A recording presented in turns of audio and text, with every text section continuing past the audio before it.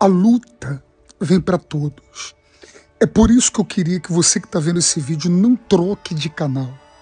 Esse vídeo é para você que está passando pelo deserto, pelo furacão, pelos piores momentos da sua existência. O mais difícil de se enfrentar nesse exato momento é a luta contra o tempo. O tempo deteriora. O tempo ele desgasta. Eu me lembro que Abraão, esperando a promessa, Deus precisa aparecer para Abraão. E o texto diz assim: Deus anima Abraão.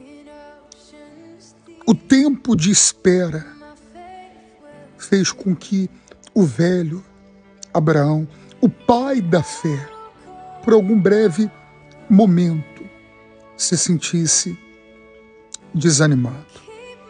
Mas o mais forte é que Abraão ele teve que lutar contra a esperança.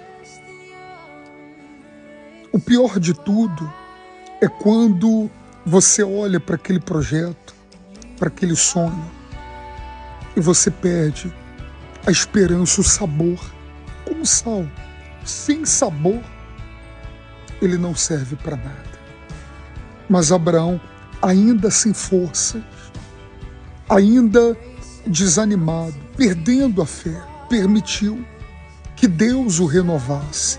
Permita que Deus te renove nessa luta contra o câncer, contra as lutas no teu relacionamento, casamento, família ainda que seja preciso crer, contra a esperança, creia. A luta que você está passando, eu entendo que não é fácil. É muito fácil para quem está do lado de fora dizer que você tem que insistir, perseguir os teus sonhos. Mas é a única maneira de vencer.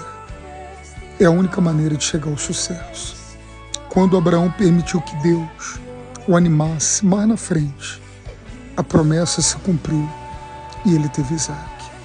Eu quero dizer para você nesse dia de hoje: a promessa vai se cumprir.